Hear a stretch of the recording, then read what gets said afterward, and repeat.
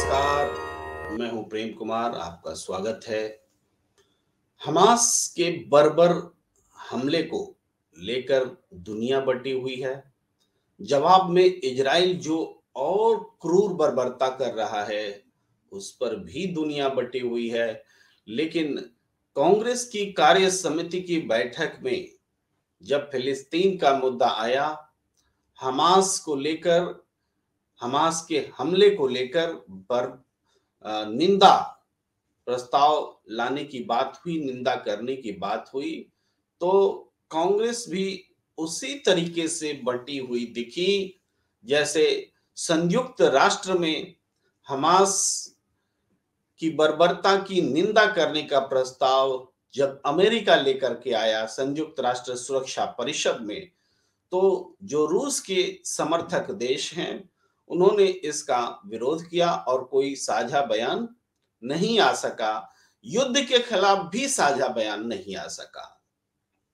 तो कांग्रेस के भीतर जो रुख रहा हमास के बर्बर हमले और इजराइल के जवाबी क्रूर हमले को लेकर, उसमें कांग्रेस का रुख वही है जो हिंदुस्तान का रुख आज तक रहा है नरेंद्र मोदी जी की सरकार के आने से पहले तक और नरेंद्र मोदी जी की सरकार के रुख में भी मामूली बदलाव होते होते अब इस हद तक बदलाव आ गया है कि नरेंद्र मोदी जी ने कहा है कि भारत इजराइल के साथ खड़ा है। लेकिन नरेंद्र मोदी जी के बयान में भी हमास का ज़िक्र नहीं है। हमले का ज़िक्र है। बर्बर हमले के खिलाफ इजराइल के साथ भारत खड़ा है। तो ये प्रश्न बहुत गंभीर है कि हमास ने जो बर्बरता की कि इजराइल में घुसकर लोगों को अगवा किया, अब भी लगभग सौ लोगों को अपने पास बंधक रखे हुए हैं। घर से निकाल कर लोगों को मारा इसका समर्थन तो यूएई जैसे देश भी नहीं कर रहे हैं। लेकिन आ, ये मामला इतना आसान नहीं है। कांग्रेस कार्य समिति ने जो आ, प्रस्ताव पारित किया बयान दिया उसमें बचते बचाते हुए भी कि ये कार्य समिति की बैठक चुनाव को लेकर है। हम अपना फोकस चुनाव पर रखें, जाति जनगणना पर रखें। इस विषय पर अलग से बयान देने की ज़रूरत होगी तो हम देंगे। ये सब मल्लिकार्जुन खड़गे जी ने इस विषय पर कांग्रेस के भीतर अपने नेताओं को समझाया। फिर भी जो बात कही गई, वो ये कि फिलिस्तीन के के लिए, फिलिस्तीन की जो लड़ाई ज़मीन के लिए है, अपनी स्वतंत्र सरकार के लिए है और स्वायत्तता के लिए है, उस लड़ाई को हमारा समर्थन जारी रहेगा। ये कांग्रेस ने स्पष्ट रूप से बयान दिया है। लेकिन हिंदुस्तान भी दो हिस्सों में बटा हुआ है, हिंदुस्तान की सियासत भी बटी हुई है और इंटरनेशनल इश्यूज़ पर भी ये दो मत सामने आते हैं। अब भारत का स्टैंड अगर इजराइल के समर्थन में खड़ा होने का आ गया अमेरिका का स्टैंड तो पहले से हर हाल में इजराइल के साथ खड़ा होने का रहा है। तो ऐसी स्थिति में कांग्रेस के लिए भी दुविधा की बात होती है कि क्या भारत के स्टैंड के साथ चला जाए या भारत के स्टैंड के खिलाफ चला जाए। एक युद्ध सोशल मीडिया पर भी लड़ा जा रहा है। जो लोग हमास का समर्थन कर रहे हैं या इसराइल का विरोध कर रहे हैं या फिर इसराइल के जवाबी आक्रमण का विरोध कर रहे हैं, इस पर इस पर दो मत स्पष्ट हैं। चूँकि पाकिस्तान की ओर से जो प्रतिक्रिया है, वो खुलकर हमास के समर्थन में है इसराइल के खिलाफ है, और हिंदुस्तान में भी ये जो प्रतिक्रियाएँ हैं, आम तौर पर मुसलमानों की जो प्रतिक्रिया है, सुन्नी मुसलमानों की जो प्रतिक्रिया है, इवन शिया की भी, वो इनके साथ है, फिलिस्तीन के साथ है, हमास के साथ है। लेकिन हमास का जो व्यापक विरोध इस बार दुनिया में देखने को मिला कि मुस्लिम कंट्रीज़ भी, इस्लामिक कंट्रीज़ भी खुल करके फिलिस्तीन का समर्थन करते नहीं आए तो इसका कारण ये है कि हमास ने युद्ध के सारे नियमों को तोड़ दिया। इसराइल को चौंकाने के लिए एक साथ पाँच हज़ार से ज़्यादा रॉकेट हमले। ये तो बात समझ में आती है, युद्ध रणनीति हो सकती है, लेकिन इस हमले के दौरान पानी के मार्ग से, ज़मीन के मार्ग से इसराइल में घुस आना और महिलाओं को बच्चों को उनके घरों से खींचकर अब बंधक बना बना लेना, ये कहीं से मानवता नहीं हो सकती। अब ये बात भी कही जा सकती है कि गजा को जिस तरीके से इसराइल ने घेर लिया है और ऐलान कर दिया है कि पानी बिजली खाना कुछ भी पहुँचने नहीं देंगे तो ये क्या बर्बरता नहीं है?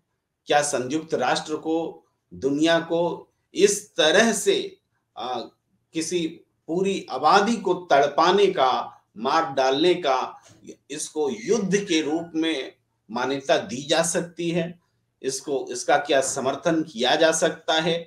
ये जो दो पैमाने हैं इसको कसना पड़ेगा कसौटी पर कि किस बार हम क्या करें। कांग्रेस और बीजेपी का प्रश्न नहीं है, ये रूस और अमेरिका का प्रश्न भी नहीं है, ये इजराइल और फिलिस्तीन का प्रश्न भी नहीं है, ये मानवता का प्रश्न है और होना चाहिए। क्या बर्बर युद्ध की निंदा नहीं की जानी चाहिए? चाहे वो हमास का आक्रमण हो, चाहे वो जवाब में इजराइल का आक्रमण हो। हमा, हमास ने एक बात और करी है कि उसने इस पूरे हमले को अल अक्सा मंदिर पर अप्रैल महीने में इसराइल के कथित हमले से जोड़ा है। यानी उसने इस पूरे हमले को धार्मिक रंग देने की कोशिश की है, एक तरह से जिहाद का रूप देने का प्रयास किया है। इसका, इसकी वजह यह है कि दुनिया भर के मुसलमानों का समर्थन उसे मिल सके, ये एक रणनीति है। तो क्या इस युद्ध रणनीति में आम मुसलमानों को आना चाहिए? ये फिलिस्तीन और इसराइल के बीच जो लड़ाई है उसमें दोनों के अपने अपने पक्ष हैं।